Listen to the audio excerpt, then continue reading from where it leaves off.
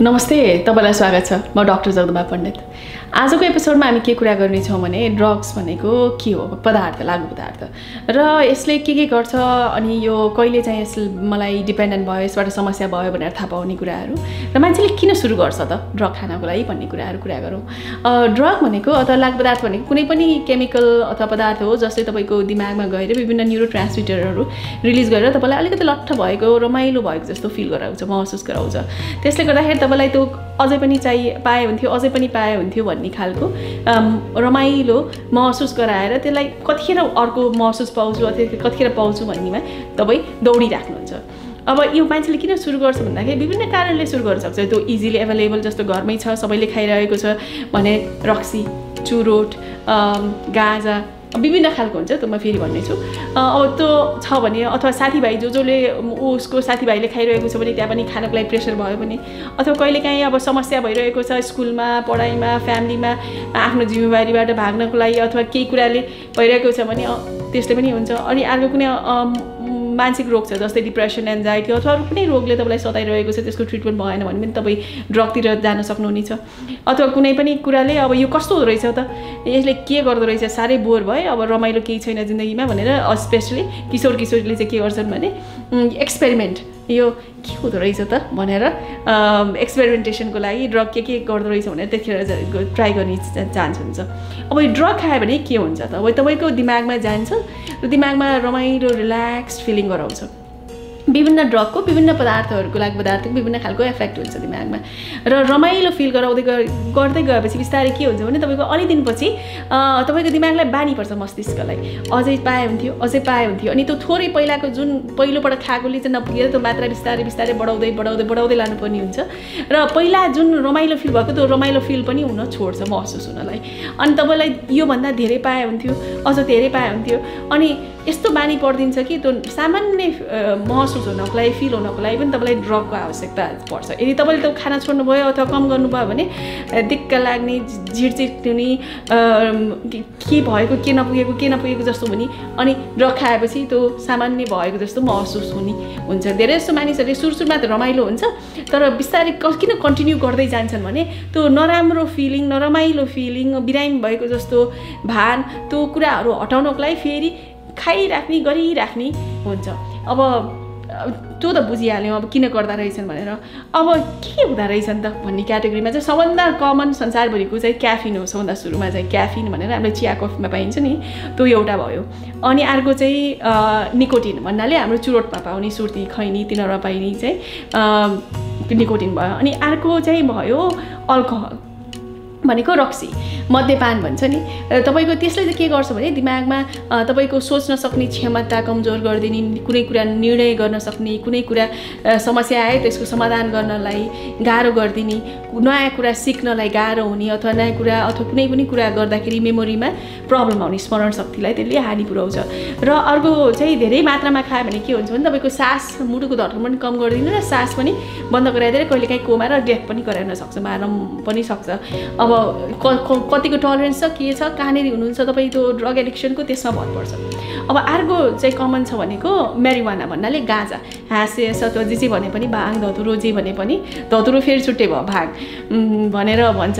यसलाई चाहिँ के गर्छ भने यसले पनि तपाईँको सुस्त बनाइदिन्छ दिमागलाई। रिल्याक्स फिल गराइदिन्छ। अनि कति कुराहरू तपाईँले ड्राइभ गरिरहनु भएछ गाडी चलाइरहनु भएको छ भने तपाईँको डिस्टेन्स र टाइमिङको चाहिँ नि इम्पियर भन्नाले तपाईँको त्यो हल हेक्का नै हटाइदिन्छ दिमागबाट।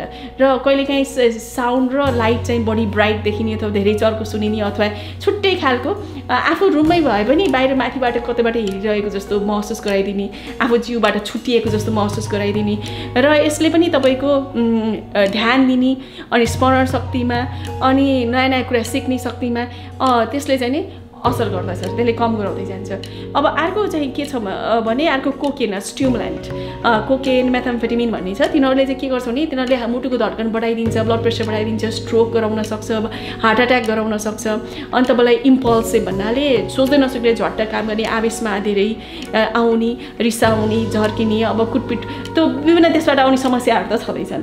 त्यो हुनसक्छ अब अर्को क्याटेगोरीमा के छ भने बेन्जोडाइजिपिन अथवा सिडेटिभ हिप्नोटिक भनेको लट्ठ बनाएर सुताइराख्ने जस्तो। त्यो चाहिँ रक्सीको बराबर जस्तै हुन्छ। तपाईँको त्यो औषधि खानु र रक्सी खानुमा बराबर जस्तै उस्तै उस्तै हुन्छ जे जे लक्सीले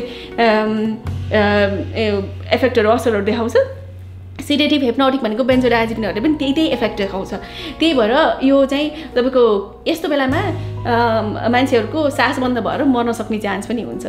अनि बच्चाहरूकोले फेला पाऱ्यो भने त बच्चाहरू त मरिहाल्छन्। एकदमै एकदमै डेन्जरस हुन्छ। त्यो चाहिँ बी केयरफुल है। आफ्नो घरमा के औषध छ भने चाहिँ लक चाहिँ गरेर राख्नुपर्छ तपाईँको जिम्मेवारी कुरा हो त्यो चाहिँ बच्चाहरूको एक्सेसमा नहुनु। अनि अर्को हुन्छ ओपिएड भन्नाले हेरोइन त्यो पपी प्लान्टबाट बनाउँछ नि अथवा यो कुनै सिन्थेटिक पनि हुन्छ र पपी प्लान्ट नेचुरल पनि हुन्छ ओपिएड त्यसले चाहिँ अब हेरोइन सुट गर्ने पनि हुन्छ मान्छेले। कसैले चाहिँ यसले पनि तपाईँको श्वासलाई कम गरिदिने हार्ट रेटलाई कम गरिदिने अनि यसले हाई त गराउँछ नै तर लट्ठ पार्ने। आफू त्यहाँ नभएको जस्तो हुने। केही कुरा जिन्दगीमा सा ऊ नै टचै नहुने।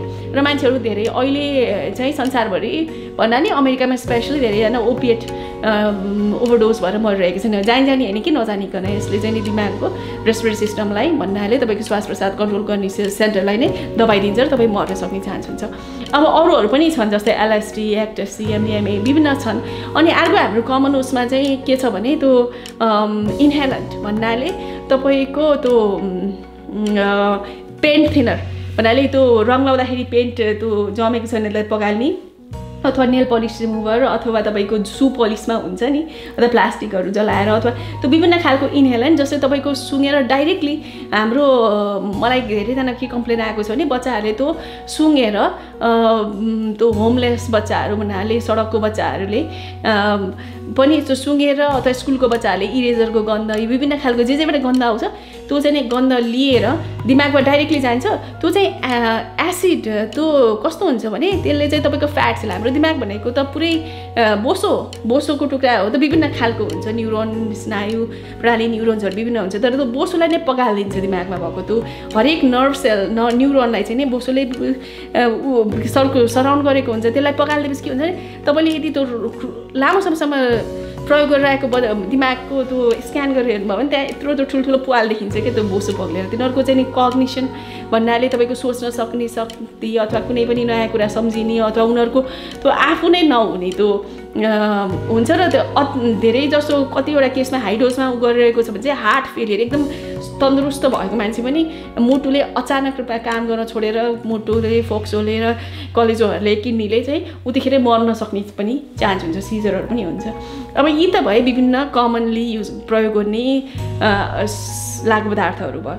अब यो साँच्चैकै हामीले के हो त यो? यो त मान्छेले के भने कमनली धारणा के छ भने सामान्य रूपमा मान्छेले यो त मान्छेको व्यक्तित्वको खराबी हो निन नियतको खराबी हो त्यहाँ ड्रग भनेको त छोड्न सकिहाल्छ नि भन्ने खालको सोचाइ छ त्यो गलत हो। हो पहिलोचोटि तपाईँले चुरो खानलाई अथवा रक्सी खानलाई अथवा पहिलोचोटि ड्रग लिनको लागि तपाईँको you choose to do it भन्नाले तपाईँले पहिलोचोटि त तपाईँले ल रोजेर गर्नुभयो होला। तर बिस्तारै गर्दै गर्दै गर्दै जाँदाखेरि के हुन्छ भने तपाईँले को त्यो लागु पदार्थले तपाईँको दिमाग को स्ट्रक्चरै भौतिक रूपमा नै कुनै कुनै पार्ट चाहिँ चेन्ज गरिदिन्छ परिवर्तन गरिदिएर कस्तो गराउँछ भने तपाईँको जजमेन्ट भन्नाले निर्णय सक्न गर्न सक्ने यो राम्रो नराम्रो अथवा कुनै पनि समस्याको समाधान गर्ने अथवा नयाँ कुरा लिने त्यो कुरा गर्न सक्ने तपाईँको मस्तिष्कको भागलाई नै यसले परिवर्तन गरिदिन्छ। यो ब्रेन स्क्यान मतलब मु दिमागको तपाईँ मस्तिष्कको एक्सरे भन्नाले एक्सरे त होइन स्क्यान गरेर हेर्दाखेरि पनि यो पाइएको छ। भनेपछि यो दु दीर्घ रूपको रोग हो। यो चाहिँ एकचोटि ल खान छोड्यो एक महिना खान छोड्यो एकचोटि यो रोग लागेपछि ल एक महिना खान छोड्यो छ महिना खान छोड्यो अब निको भयो भन्ने चाहिँ हुँदैन। यो तपाईँको रुगाखोकी लागेको जस्तो ल अब रुगाखोकी निको भयो अब सधैँ निको भयो भन्ने होइन। यो चाहिँ नि दीर्घ रूपमा रहिरहन्छ। जति लामो समयसम्म तपाईँले खान छोड्नुभयो तपाईँको चाहिँ यो निको नै छ। र अर्को रेमिसन भन्छ यो निको रहने एउटा मेन्टेन स्टेजमा जान सक्छ। तर जहिले पनि रिल्याप्स चाहिँ हुनसक्छ त्यो त्यही भएर यो दीर्घ रोग हो। यो कसैको व्यक्तित्वको खराबी होइन। यो दीर्घ रूपको रोग हो दीर्घकालीन रोग हो। यसलाई अब के गर्न सकिन्छ यसको उपचार पनि मिल्छ त भन्ने पनि आउला। र अब कसैले भन्ला म एक महिना एउटा रिहाबमा गएर बसेँ अथवा म जेलमा परेँ एक महिना अथवा मैले एक महिना खा खाइनँ म कोठामा थुनेर बसेँ र मेरो सबै कुरा सिम्टमहरू गयो सक्यो अब म निको भएँ भनेर भन्ठान्ला तर त्यस्तो चाहिँ हुँदैन। यो तपाईँलाई निको भएको जस्तो त लाग्ला तर के हुन्छ भने तपाईँले यदि नयाँ बानी बेहोरा सिक्नु भएको छैन नयाँ केही कुरा स्ट्रेस पऱ्यो केही कुराले तपाईँलाई दुःख पीडा भयो भने तपाईँले त्यसलाई कसरी समाधान गर्नुहुन्छ सुल्झाउन सिक्नु भएको छैन? नयाँ लाइफस्टाइल भन्नाले अब नयाँ नयाँ कुराहरू गर्न जान्नुभएको छैन अथवा त्यो गर्नु भएको छैन भने चाहिँ अलिकति गाह्रो हुन्छ। फेरि तपाईँ रिल्याक्स हुने चान्स चाहिँ हुन्छ। किनकि तपाईँको त्यही साथीभाइसँगै गएर भेट्नुभयो त्यही होटलमा खान जानुभयो अथवा त्यही सिचुएसनहरूमा घरिघरि साथीभाइ त्यही गल्लीमा हिँड्नुभयो त्यो ड्रग बेच्ने मान्छेलाई भेट भइराख्यो अथवा घरमै कसैले खाइरहेको छ अब आफू मात्रै कसरी छुटेर त्यो सबै कुरा ट्रिगर्सहरू चाहिँ नि आफूले आइडेन्टिफाई गर्नुपर्छ। के केले गर्दा आफूलाई जस्तै जो ट्रिगर भन्ने हुन्छ ट्रिगर भनेको तपाईँलाई त्यो तलतल लिएर आउने तलतल भएको बेलामा अथवा नसोचेको बेलामा तपाईँलाई दिमागमा ए यो खाए त पाए त कस्तो रमाइलो हुन्थ्यो है भन्ने खालको दिमागमा सोचाइ आउने सिचुएसनहरू। जस्तै अब कोही मान्छे होला भनौँ तपाईँको अब दाजुभाइसँग तपाईँले सधैँ भेटेर रक्सी खाइरहनुहुन्थ्यो। तपाईँको मिल्ने भाइ छ। उसको तपाईँ र उसको कनेक्सन भनेकै बेलुका सात बजीपछि उसले एक बोतल लिएर आउँछ आफू एक बोतल लिएर आयो अथवा उसले एक बोतल लिएर आउँछ आफूले चाहिँ त्यो खाने सितन किन्यो। अनि मजासँग बसेर खाइरहेको छ भने अर्को साथी भाइ देख्दाखेरि फेरि ठ्याक्क त्यही ए कस्तो रमाइलो भएको थियो अरे त्यो समयको सम्झना आएर खाउँ खाउँ यो नै रमाइलो छ भनेर मर्निङ हुने। अथवा अब तपाईँको ठाउँ अथवा तपाईँ कुनै पार्टीमा जानुभयो त्यहाँ मान्छेहरू धेरै हुलमुल देख्यो। जहाँ जाँदाखेरि पनि त्यहीँ भयो भने हुन्छ। अर्को चाहिँ अब तपाईँको कस्तो छ भने अब काममा तनाव भइराख्यो। अब केही गर्यो कि मलाई तनाव भयो मलाई कुनै समस्यालाई कसरी यसलाई सुल्झाउन सक्ने आएन। भयो भने अथवा बुढीले सधैँ कचकच गरी भने अथवा बाउआमाले यसो भएन त्यसो भएन भनेर कन्सटेन्ट रिमाइन्डर भयो। अथवा यो धेरै कुराहरूले तपाईँलाई ट्रिगर गर्न सक्छ। आफ्नो ट्रिगर के के हो भनेर चाहिँ पत्ता लगाउनुपर्छ है। अब यसरी नै हामीले कसरी समाधान गर्न सकिन्छ अब के के गर्न सकिन्छ त भन्ने बारेमा कुरा गर्यो गर्ने छौँ अब चाहिँ यो को कोलाई हुनसक्छ त? के सबैजनालाई एकचोटि खाँदैमा ड्रग एडिक्सन हुन्छ त अथवा यसको समस्या आइपर्छ त भन्ने कुरामा कुरा गरौँ। मान्छेले किन सुरु गर्छ त? भन्ने कुरामा। अब कसै कसैको चाहिँ नि अब मेन कुरा कस्तो छ भने मुख्य धेरै कुराहरूले फरक पार्दछ के के कुरा भने मुख्य कुराहरूमा चाहिँ के हुन्छ भने अब स्कुलमा प्रब्लम भएको छ भने बच्चाहरूको स्कुलमा काममा ठुलो मान्छेको पनि अथवा कसैलेलाई अब त्यो लाइफसँग आउने जीवनसँग आउने विभिन्न उतार चढावलाई राम्रोसँग त्यसलाई सुल्झाउन सिकेको छैन भने उसँग स्किल छैन भने त्यहाँ भयो भने उसले ड्रगतिर सजिलै स्केप त्यो भएपछि खाएपछि हामीले सोच्नु परेन गर्नु परेन भन्ने त्यो लाग्छ। अर्को कुरा घरमा प्रब्लम छ भने बच्चाहरू हुर्किँदाखेरि यदि उनीहरूले हिंसा देखेका छन् उनीमाथि हिंसा भएको छ उनीहरूलाई चाहिँ नेग्लेक्ट गरिएको छ भने उनीहरूको राम्रो स्याहार सुहार पुगेको छैन भने उनीहरूले ठुलो मानिसले खाएको देखेको छन् भने घरैमा बच्चालाई नखा भन्ने अथवा बच्चालाई नै रक्सी किन्न पठाउने आफूले रक्सी खाने त्यस्तो अथवा घरमै स्टोरेज गरेर राखेको यो चाहिँ सबभन्दा कमन बच्चाले सुरु गर्ने चाहिँ घरैबाट है रक्सी खानको लागि। छ सात वर्ष आठ वर्ष कसै कसैले त बोतलमा पनि त्यही राखेर खुवाएको मेरो पेसेन्टहरूले मलाई कम्प्लेन गरेको मैले थाहा पाएको छु। अब त्यो चाहिँ नै समस्या त्यहाँ भयो भने। अनि कुनै पनि अन्डरलाइन भनेको कुनै पनि मानसिक रोग छ भने तपाईँलाई एन्जाइटी छ डिप्रेसन छ एडिएचडी छ निराशापन चिन्तापन अथवा चञ्चल मन चल चलिराख्ने चुलबुल चुलबुल हुने आफूले ध्यान दिन नसक्ने त्यस्ता विभिन्न रोगहरू छन् भने पनि त्यसले गर्दाखेरि तपाईँ ड्रगतिर त्यो आफ्नो आफूलाई सेल्फ मेडिकेट भन्छ आफूले आफ्नो डिप्रेसन एन्जाइटीलाई ट्रिट गर्नको लागि अनि अझ स्पेसली यङ त्यो किशोर किशोरमा त गाजा आत्तिने निराश हुने अथवा त्यो बानीलाई कसरी सम्हाल्ने कसरी त्यसलाई सुल्झाउने भन्नेतिर चाहिँ स्किल सेट नभएको। गर्दाखेरि तिनीहरूले चाहिँ रक्सी चुरोट अनि त्यसपछि गऱ्यो गाँजा अरू अरू ड्रगहरू खान सक्ने चान्स पनि हुन्छ। अर्को कुरा चाहिँ तपाईँ जेनेटिकली तपाईँको वंशानुगतमा तपाईँको बडी कस्तो छ बायोलोजिकली? तपाईँको कसै कसैले चाहिँ नि त्यही एउटा ड्रग खायो अथवा रक्सी खायो अथवा गाजा खायो भने फरक तपाईँको मस्तिष्कले फरक रूपमा त्यसलाई प्रतिक्रिया देखाउँछ भने अर्कोकोले चाहिँ छुट्टै खालको प्रतिक्रिया देखाउँछ। अब तपाईँको फ्यामिली हिस्ट्री भन्नाले परिवारमा कसैले खानी गरेको छ अथवा कसैको चाहिँ मानसिक रोग छ अथवा पहिला हिंसाको पहिला ट्रमाको हिस्ट्री छ भने त्यो चाहिँ you are more likelihood to become more addicted to it किनकि इट गिभ्स यु स्केप भन्नाले त्यसले चाहिँ तपाईँलाई रिलिफ दिएको जस्तो फिल हुन्छ। यी त भए कारणहरू मान्छेले किन ड्रग युज गर्छ भनेर त अर्को कारण चाहिँ के हुन्छ भने सानो उमेरमै उसले ड्रग युज गर्न थाल्यो भने कुनै पनि पदार्थहरूले जति सानो उमेरमा सुरु गर्यो उति धेरै उसको दिमागमा ग्रे म्याटर भन्ने दिमागमा बनिरहेको हुन्छ त्यसलाई इन्टरप्ट गरिदिन्छ। कुनै पनि पदार्थले गएर र त्यसले नयाँ स्किल सेट सिक्नुपर्ने प्रब्लम सल्भिङ स्किलहरू नयाँ नयाँ कुरा राम्रो राम्रो कुरा सिक्नुपर्ने ठाउँमा उसले त्यो अवरोध भइदिन्छ जुन ब्रेन डेभलपमेन्टको राम्रोसँग हुनुपर्ने ठाउँमा त्यहाँ बिस्तारै बिस्तारै गइरहेको हुन्छ। बिचमा गचक गचक गचक दिमागमा चाहिँ लाग्यो भने त्यसरी उसलाई गाह्रो हुन्छ र ढिलो उसले के गर्छ भने जति ढिलो सुरु गर्यो उति सजिलै छोड्न सक्छ जति चाँडै सुरु गर्यो उति गाह्रो हुन्छ त्यो ड्रग युज अथवा कुलाक पदार्थ छोड्नको लागि। अनि अर्को चाहिँ अर्को साथीभाइसँग जसले ड्रग युज गरिरहेको साथीभाइ चाहिँ सँग ऊ सधैँ जम्मा भइरहेको छ। उनीहरूसँगै उनीसँगै मिलजुल गर्नलाई पियर प्रेसर ए यति पनि गर्दैन यति नजाने यस्तो उस्तो भनेर उसले को दबाबमा उसले सुरु गर्न थाल्छ थाल्छ ड्रग युज चाहिँ। अब यी त भयो है विभिन्न कारणहरू। अब यसको के उपचार छ त? भन्ने आउला। हो यो चाहिँ नै धेरै गाह्रो छ। तर तपाईँले सबभन्दा सुरुमा त सुरु नगरेकै राम्रो। यदि सुरु गरिहाल्नु भएको छ भने पनि उपचार गरेर र आफ्नो ट्रिटमेन्ट आफूलाई उपचारको लागि के के गर्न सक्छ आफ्नोलाई के के काम गर्छ के के गर्दैन भन्ने कुराहरू चाहिँ डिसाइड गर्नुपर्छ। आफ्नो स्वास्थ्य कर्मीसँग सल्लाह गर्नुहोस् र अब यसको लागि त के गर्नुपर्छ भने अब तपाईँले त पहिला गरिरहेको सबै कुराहरू त फेरि रि स्क्रिप्टै नयाँ लेख्नु पऱ्यो नयाँ नयाँ कुनै पनि समस्या आयो केही पनि बाटोमा ठेस लाग्यो अथवा केही भइहाल्यो भने त्यसलाई अब कसरी महसुस गर्ने अब त्यसलाई कसरी समाधान गर्ने त्यसलाई कसरी आफूले आफूलाई एक्सप्रेस गर्ने अब के के बानी बेहोराहरू चेन्ज गर्ने त्यो सबै कुरा चाहिँ तपाईँले बिस्तारै बिस्तारै रिलर्न गर्नुपर्छ। भनेपछि यो कुरा सबैको जिन्दगीमा चाहिँ आउँछ समस्या तर यसलाई चाहिँ कसरी निम्ठ्याउँदै जाने अथवा यसलाई निर्मूल पार्दै जाने भन्नेतिर लाग्नुपर्छ। अनि औषधिहरू पनि छ। यसको लागि तपाईँको स्वास्थ्य कर्मीसँग नि उपचार गर्नुको लागि सु सल्लाह गर्नुहोस्। अब कुनै कुनै जस्तै रक्सीहरू तपाईँले ज्यादा मात्रामा खाइरहनु भएको छ अथवा सिरेटिभ हिप्नोटिक्स ज्यादा मात्रामा खाइरहनु भएको छ भने तपाईँले अचानक छोडिँदा के हुन्छ भने तपाईँलाई सिजर भएर डिलिरियम ट्रेमेन्स भएर मान्छेको ज्यान पनि जान सक्ने हुनसक्छ। Depending on where you at को एडिक्सन कहाँ कति खानुहुन्छ के गर्नुहुन्छ कस्तो भइरहेछ त्यही भएर सल्लाह गर्नु एकदम जरुरी छ। अनि अर्को कुरा चाहिँ अब तपाईँको जो साथीभाइहरूसँग जो जम्मा भइरहेको तिनीहरू अथवा पहिला गरिरहेको लाइफस्टाइलहरू चेन्ज गर्नु पऱ्यो पहिला जाने ठाउँहरू अथवा केही कुराले ट्रिगर गर्छ। आफूलाई के के कुराले चाहिँ नि अब मलाई यसको लागि तलतल बढाउँछ के कुराले चाहिँ मलाई ड्रगहरू गरौँ जस्तो फिल गराउँछ महसुस गराउँछ त्यस्तो कुराहरूबाट चाहिँ टाढा रहने। अनि अब अर्को कुरा चाहिँ के के गर्न सकिन्छ भन्दाखेरि सपोर्ट ग्रुप आफूले यदि उपचार गर्न आफूले छोड्न खोजिराखिएको छ भने ए साथी म छोड्न खो कोसिस गरिरहेको छु है। मलाई तिम्रो सहयोग चाहिन्छ भनेर भन्ने।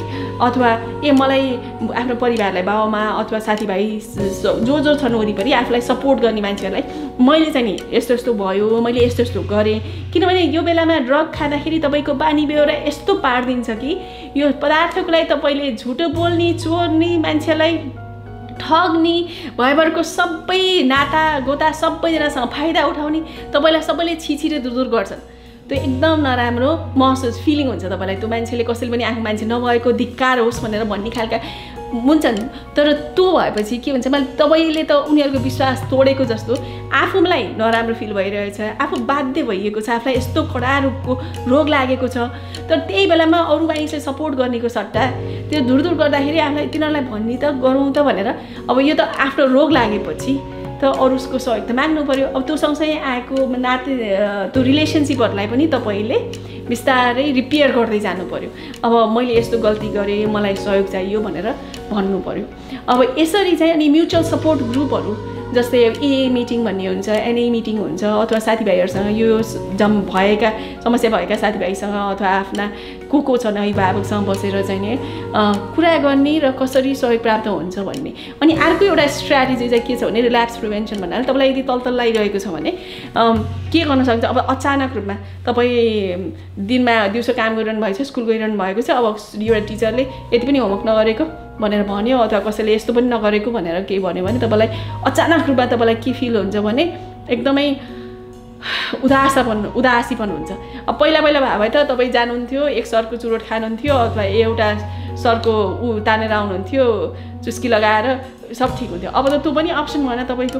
भनेपछि तपाईँले अब यो बेलामा चाहिँ के गर्नु सक्नुहुन्छ भने अब त्यो यदि फिलिङ आयो भने त्यसले कस्तो एउटा खाना पाए नि हुन्थ्यो नि भने जस्तो हामी त्यो बेलामा चाहिँ डिले गर्ने। अब सोचाइ आइरहेको छ भने होइन? अहिले हुँदैन मेरो क्ला काम छ अहिले स्कुल छ म सक्नुपर्छ भनेर सु आफूले आफूलाई डिले गर्ने अनि डिस्ट्र्याक्ट गर्ने अब कसै हिँड्न जाने कि अथवा नुहाउने कि अथवा अरू के के गर्नु साथीभाइलाई फोन गर्ने अरू पेन्ट गर्ने अथवा के गरेर तपाईँको दिमाग मन बहलाउने। यो तलतल भनेको केही क्षणको लागि मात्र रहन्छ। त्यो रहिरहँदैन। यो चाहिँ समुद्रको बेगा जस्तो आउने जाने आउने जाने हुन्छ। तर यसले तपाईँलाई कसरी तपाईँले त्यसलाई म्यानेज गर्नुहुन्छ त्यसमा भर पर्छ तपाईँको दिमागमा चाहिँ बिस्तारै तपाईँले नयाँ न्युरो सर्किटहरू बनाउनुपर्छ ताकि तपाईँको आउँछ तलतल अब यस्तै हो आउँछ जान्छ भन्ने बानी पार्नको लागि तपाईँले एक दुई प्र्याक्टिस कि त अभ्यास गर्नुपर्छ। अभ्यास गर्दै गएपछि। अनि अर्को के हुन्छ भने डिस्ट्रेस गर्ने। भन्नाले अब तपाईँको डिप ब्रिदिङ हुन्छ कि अथवा त्यो केही कुराले तपाईँलाई रिल्याक्स गराउँछ प्रोग्रेसिभ मसल रिल्याक्सेसन भन्नाले एउटा मसल ग्रुपलाई टेन्सन गराउँदै रिल्याक्स गर्दै टेन्सन गराउँदै रिल्याक्स गर्दै यसको भिडियो पनि छ एउटा डिटेलमा तपाईँ हेर्न सक्नुहुनेछ हाम्रो। उसमा अघि पहिला नै रिलिज गरेको। प्रोग्रेसिभ मसल रिल्याक्सेसन गर्न सक्नुहुन्छ कि? अनि अर्को चाहिँ सबभन्दा ठुलो कुरा आफूले आफूलाई तेरि मैले यत्रो महिना भयो छोडेको मलाई यस्तो हुनै नहु नसक्ने। कसरी म नराम्रो मान्छे साह्रै म सक्दिनँ क्या? अब त संसारै डुब्ने भयो म यो क्रेमलाई यो तलतलाई म त मारै नसक्ने भयो होइन भनेर आफूले आफूलाई नराम्रोमा होच्याउने गाली गर्ने पनि हुन्छ। त्यो चाहिँ गर्नु भएन। डिक्याटास्ट्रोफाइजिङ चाहिँ गर्नु भएन। यो अन्त नै भयो यो प्रलय हुने भयो संसार। मैले अब सकिनँ ल मैले दिएँ भन्ने खालको दिमागमा पनि आउनसक्छ तर त्यो गर्नु भएन। होइन? यो त आउँछ जान्छ। यस्तै त हो नि।